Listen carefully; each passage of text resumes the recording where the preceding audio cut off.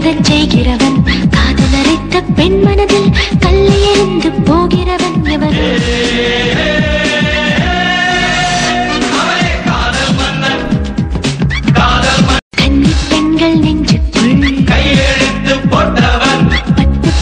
மத்தியில் பழனி சென்று உள்ளவன்.